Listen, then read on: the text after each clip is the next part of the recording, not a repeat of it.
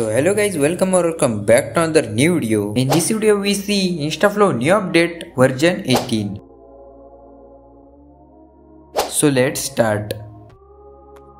इंस्टाफ्लो के ऊपर इस वीडियो में हम पूरा ट्यूटोरियल देख लेंगे कि इसके अंदर क्या क्या न्यू फीचर ऐड हुए और पुराने फीचर सारा जो ट्यूटोरियल इस वीडियो में हम देख लेंगे। इसके अंदर जो जो न्यू फीचर ऐड हुए, सारे फीचर को जो हम डिटेल में देखने वाले, बस आपको वीडियो को बिल्कुल भी स्किप नहीं करना है और पूरा वीडियो देखना है, तभी आपको ये सारी चीज़ें जो है समझ में आए। फ़र्स्ट ऑफ़ ऑल इंस्टाफ्लो को आपको ओपन कर लेना है। इसकी जो डाउनलोड प्रोसेस हम वीडियो में आगे देखने वाले तो इंस्टाफ्लो ओपन होने के बाद सिंपली जो आपको अपने आईडी और पासवर्ड डाल के इसके अंदर जो है लॉगिंग कर लेना है। लॉगिंग प्रोसेस कंप्लीट होने के बाद सिंपली जो ऊपर आपको सेटिंग का आइकॉन दिखाई दे रहा होगा। उसके ऊपर आपको सिंपली टैप कर लेना है। इसके अंदर जो आपको बहुत सारे फीचर देखने को मिल जाएँगे, और यहाँ पे नीचे आपको एक फीचर देखने को मिलता है डेव सेटिंग सिंपली इस वाले ऑप्शन के ऊपर आपको सिंपली टैप कर लेना है। इसके ऊपर टैप करने के बाद आपके सामने कुछ ऐसा कुछ इंटरफेस आने वाला है। सिंपली रिस्टोर चेंजेस पे आपको टैप कर लेना है। रिस्टोर चेंजेस करने के बाद सिंपली इस वाले पेज पे आप आ जाएँगे। यहाँ पे सिंपली जो मैंने प्रोवाइड की हुई कॉन्फिग फ़ाइल है, इसके ऊपर अप्लाई कर देनी ये जो कॉन्फिग फ़ाइल है वीडियो में आगे कैसे डाउनलोड करनी है, पूरी जो प्रोसेस में आगे बताने वाला वीडियो को बिल्कुल भी आपको स्किप नहीं करना। उसके बाद सिंपली रिस्टार्ट ऐप कर देना है। रिस्टार्ट ऐप होने के बाद सिंपली जो ऐप को एक बार रिस्टार्ट होने देना है, उसके बाद सारे जो चेंजेस है यहाँ पे अप्लाई हो जाएँगे। इस कॉन्फिग फ़ाइल के अंदर सारी सेटिंग जो है, पहले से कर रखी है। आपको कोई भी ज़्यादा सेटिंग करने की ज़रूरत नहीं है। बस आपको उस कॉन्फिग फ़ाइल को जो है, इसके ऊपर अप्लाई कर देना है। और ये जो कॉन्फिग फ़ाइल है मोनिस्टा की तरह बार बार हटने वाली नहीं है। के इस अपडेट में रील्स लाइक आईफोन भी आप इसके ऊपर शेयर कर पाओगे।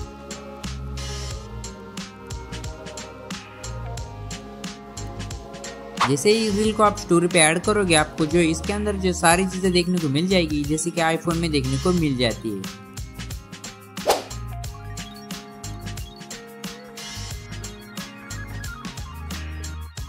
और चाहिए तो इसका बैकग्राउंड भी आप यहाँ से आप चेंज कर सकते हो। बस मैंने प्रोवाइड की हुई कॉन्फी फ़ाइल को इसके ऊपर आपको अप्लाई कर देना है, उसके बाद आपके सारे फीचर इनेबल हो जाएँगे।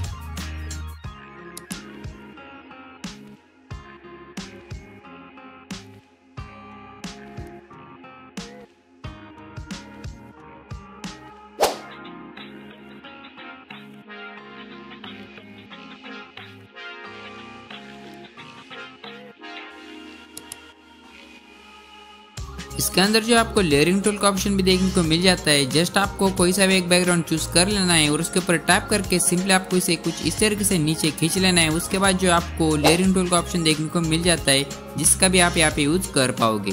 उसके साथ ही ये जो है नया इंटरफेस आपको यहाँ पे देखने को मिल जाता है, ये भी बहुत ज़्यादा कूल लग रहा है। उसके बाद बात करते हैं आयोस इमोजेस की। इसके अंदर जो है seventy point four emoji hundred percent work करने वाले हैं। जो कि आप यहाँ पे देख सकते हैं, सारे जो न्यू इमोजी यहाँ पे हंड्रेड परसेंट वर्क कर रहे हैं और आपके साथ भी ये वर्क करने वाले डिस्क्रिप्शन में से लिंक पे टैप करने के बाद आप आ जाओगे इस वाले पेज पे। इस वाले पेज पे आने के बाद थोड़ा स्क्रॉल डाउन करते आपको डाउनलोड लिंक का ऑप्शन देखने को मिल जाएगा। सिंपली इंस्टाफ्लो वाले लिंक पे आपको टैप कर देना है। जिससे आप इंस्टाफ्लो पे टैप करोगे, आप इस वाले पेज पे आ जाओगे। यहाँ पे आने के बाद सिंपली आपको नीचे जो है डाउनलोड का ऑप्शन दिखाई देगा, इसके ऊपर आपको टैप कर लेना है और इसे डाउनलोड कर लेना है। करीब करीब सौ एम के आसपास ये तो दो तीन मिनट में डाउनलोड हो जाएगा।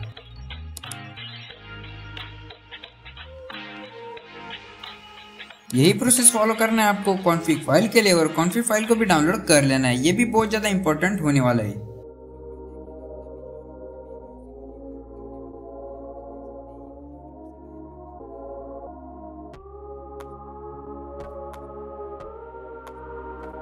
डाउनलोड कंप्लीट होने के बाद सिंपली जो है जेड आर को आप ओपन कर लेना है और डाउनलोड वाले फोल्डर में जाना है। यहाँ पे आपको दोनों फ़ाइल देखने को मिल जाएगी। सिंपली आप पे कॉन्फिग फ़ाइल को जो है एक्सट्रैक्ट कर लेना है।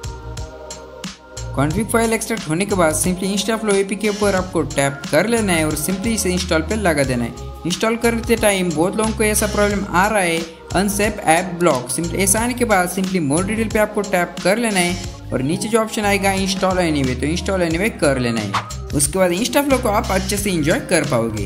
जैसे ही इंस्टाफ्लो के सेटिंग्स में आते हैं, आपको बहुत सारे यहाँ पे ऑप्शन देखने को मिल जाते हैं। सिंपली स्टोरेज सेटिंग पे आपको टैप कर लेना है। स्टोरेज सेटिंग्स में आने के बाद आपको जो है फेसबुक स्टाइल स्टोरेज को ऑन कर लेना है, जिससे कि थोड़ा नया आपको देखने को मिल जाता है। उसके बाद कस्टमाइज स्टोरी फॉन्ट के ऊपर आके सिंपली जो इसके ऊपर आपको टैप कर लेना है, और यहाँ पे आपको देखने को मिलेगा आयो सेवनटीन पॉइंट फोर सिंपली इसको जो आपको टैप कर लेना है, उसके बाद ये डाउनलोड होना स्टार्ट हो जाएगा। उसके बाद थर्ड नंबर वाले फॉन्ट के अंदर आप सारे जो है न्यू इमेजेस वर्क कर पाओगे, जो कि हो गए सेवनटीन पॉइंट फोर इमेजी सारे जो है न्यू इमेजी आप हंड्रेड परसेंट वर्क करने वाले।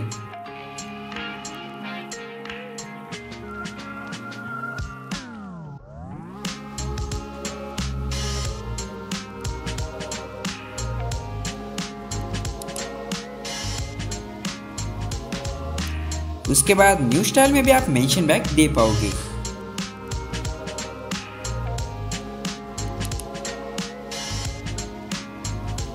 और फेसबुक लाइक स्टोरीज भी यहाँ पे देख सकते हो। यहाँ पे जो इसके आइकॉन है, जो फेसबुक की तरह हो चुके अब बात कर लेते हैं कुछ प्राइवेसी सेटिंग्स की। इसके लिए अगर आपको ओपन कर लेना है सेटिंग्स और सेटिंग्स में आने के बाद आपको ऑप्शन मिलता है प्राइवेसी का। इसके अंदर जो है बहुत सारे ऑप्शन आपको देखने को मिल जाएँगे।